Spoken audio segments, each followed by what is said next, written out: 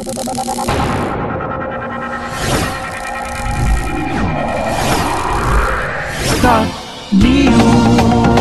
Jendela Informasi Anda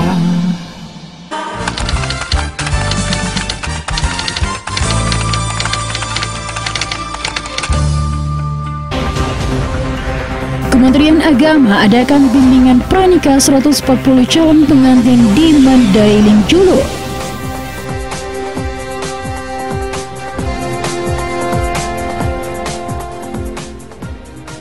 Assalamualaikum warahmatullahi wabarakatuh. Start News Channel kembali menyapa ruang dengar Anda.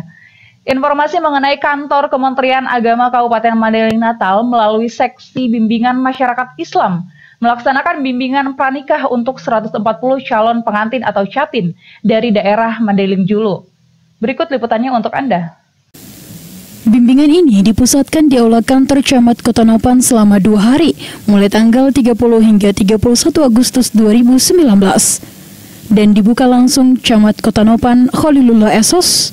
Sedangkan peserta berasal dari tujuh kecamatan di Mandailing Julu, mulai dari Kecamatan Kota Nopan, Ulu Pungkut, Muara Sipongi, Pakantan, Tambangan, Puncak Sorik Merapi, dan Lembah Sorik Merapi.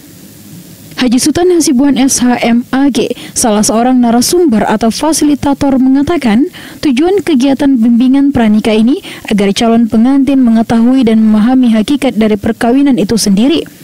Kemudian untuk mewujudkan keluarga sakinah, mawaddah, warohmah dan bisa mencarikan solusi terhadap permasalahan yang timbul dalam keluarga sehingga bisa meminimalkan angka perceraian. Sultan Hasibuan mengatakan setiap orang atau calon pengantin yang akan menikah diwajibkan mengikuti bimbingan pranikah baik bimbingan tatap muka maupun mandiri. Hal ini sesuai dengan amanah Perdirjen Bimas Islam nomor 373 tahun 2017 dan Perdirjen Bimas Islam nomor 379 tahun 2018. Kira-kira tujuan dari kegiatan ini apa itu Pak? Tujuan yang pertama agar calon pengantin mengetahui dan memahami hakikat dari keluarga itu sendiri. Kemudian yang kedua, bagaimana mewujudkan keluarga sakinah, mawaddah warahmah dan istiqomah. Uh, dasar kegiatan ini Perdirjen Bimbingan Masyarakat Islam nomor 373 tahun 2017 dan disempurnakan dengan Perdirjen 379 tahun 2018. Tiap orang yang menikah sebelum dilaksanakan akad nikahnya pengantin itu wajib diberikan bimbingan uh, baik dia bimbingan tatap muka seperti yang kita laksanakan sekarang uh, maupun bimbingan mandiri. Jumlah peserta dari dari berapa berapa Pak? Dan dari mana aja kecamatannya Pak? Ini di lokasinya kita buat di Kota Noban yang diikuti dari tujuh kecamatan. Kemudian itulah di Kecamatan Mendeling dulu, kemudian ditambah dengan Penyambungan Selatan. Jumlah peserta untuk sementara yaitu berjumlah 140 orang dan ini mungkin barangkali bisa juga bertambah untuk besok. Pelaksanaan kegiatan ini berapa hari Pak? Kita laksanakan selama dua hari sesuai dengan juknis yang ada di Perdirjen 379 tahun 2018. Harapan kepada peserta, Pak?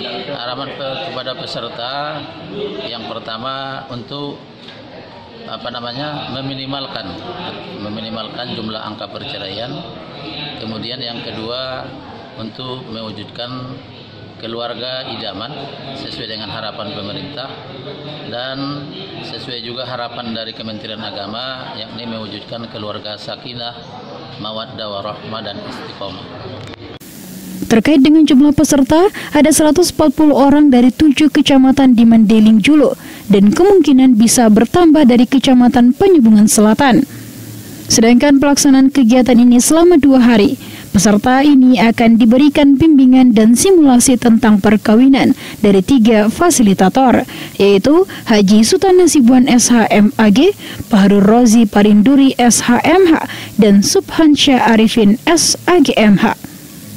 Sultan menambahkan dari kegiatan ini pihaknya berharap agar peserta bisa memahami makna perkawinan, bisa mengatasi masalah yang timbul dalam keluarga, sehingga meminimalkan angka perceraian yang pada akhirnya bisa mewujudkan keluarga idaman sesuai harapan pemerintah dan menjadi keluarga sakinah, mawadah, warahmah. Lokotusta melaporkan untuk Start News Channel. Terima kasih telah menyaksikan Start News Channel, informasi seputar Bumi Gordang Samilan. Start News, jendela informasi Anda semua layak jadi berita. Wassalamualaikum warahmatullahi wabarakatuh.